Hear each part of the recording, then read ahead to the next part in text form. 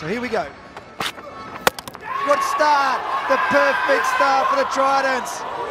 Reifer go for the Eldorado slide celebration. Well, well, well, what a start we've had to this innings. An amazing delivery from Raymond Reifer.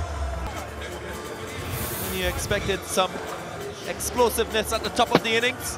How about that for a delivery? Typical left-handed delivery. Ball swinging into the right-hander. And yeah, you know it, boy. Celebrate.